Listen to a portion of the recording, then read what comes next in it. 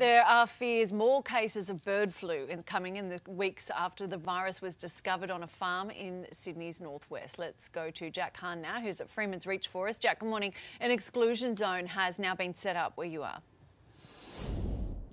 Yeah, that's right, Brooke. Good morning to you. A biosecurity lockdown in effect this morning. The farm itself is in the foggy distance on your screen, about two kilometres down this road. So that exclusion zone is in place this morning. Only essential workers, people that need to be there, allowed in, and they are being disinfected on their way out to try and stop the spread. This bird flu detected here at a farm on Freeman's Reach. This is a suburb uh, down from North Richmond, in between North Richmond and Windsor, in fact. But the strain that they found here is separate to the one that's been detected seven times in Victoria.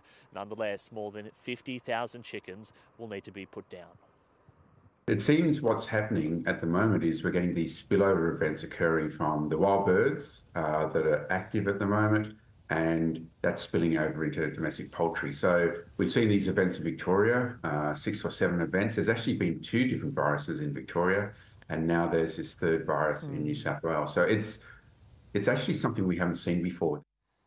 So, look, the big question this morning what does this mean for egg supplies at supermarkets? We know that Coles has limits here in Sydney, New South Wales. In fact, every state, with the exception of WA, Woolies and uh, Aldi have not yet moved on putting limits in. Industry experts say that this outbreak isn't likely to knock down stocks just yet. And in fact, they are calling for calm. They don't want to see people flying down to the supermarket and panic buying eggs, Brooke. Yeah, absolutely. Thanks, John. The New South Wales egg farm is in quarantine this morning following an outbreak of bird flu. For more, we're joined by bird flu expert Professor Michael Ward. Professor, thanks for your time this morning. So, we're talking about a different strain here, aren't we, to the one that's been detected in Victoria?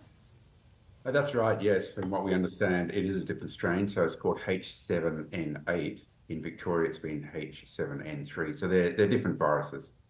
How does that happen? I mean, why are they different? And how is it that a different strain has suddenly appeared somewhere else entirely? Yeah, it's interesting. So, even influenza viruses, there's a large number of viruses, um, hundreds and hundreds of different types of viruses. So, in, in this case, uh, these viruses really are maintained in wild birds. So, that's what their natural home. So, they're they're a wild bird type virus. And it seems what's happening at the moment is we're getting these spillover events occurring from the wild birds uh, that are active at the moment, and that's spilling over into domestic poultry. So we've seen these events in Victoria, uh, six or seven events. There's actually been two different viruses in Victoria, and now there's this third virus mm. in New South Wales. So it's it's actually something we haven't seen before. This many different viruses hitting this many farms. And, and, there must be logistical um, problems with all of that. I mean, how do you prevent it from happening with a wild mm. bird, for example? Mm. Um, and how does it not spread to, to other farms? Yeah, I mean, that's a good point. Um, it's very difficult with wild birds. So the main um, prevention is biosecurity. So you try and separate your domestic poultry from your wild birds. One issue in the last few years, I guess, is the movement to free range, and that causes many challenges. You can imagine when poultry, when chickens are out outside, um, contact with wild birds is very difficult to manage. Mm. Um, in terms of control, uh, the authorities very quickly clamped down on these infected properties. So, for example, this one recently um, in New South Wales, there will be quarantine all the chickens um, on that farm will be destroyed. Mm. Uh, farms in the neighbourhood, there'll be restrictions on movement and really, you know, heavy clamping down on that whole area until the, the virus is eradicated. Yeah, it's awful, isn't it? I mean, is there a risk to consumers? We don't think there's a risk to consumers with our modern sort of processing, um, cooking eggs and chicken meat.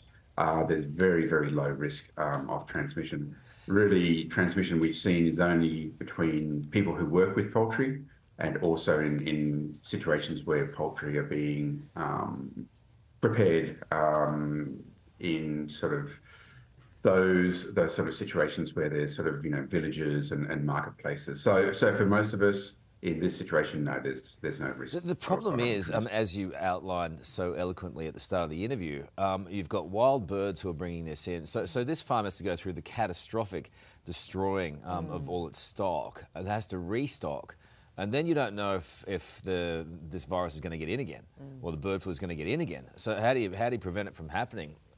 Exactly, it's a real challenge to the industry, and particularly this driver with free range. Um, mm. The industry is actually in a bit of a hard place, because for animal welfare. Everyone likes free range, but it does introduce that risk. It just reminds us, you know, this is a, a virus that lives in nature, that's in our our, our wildlife.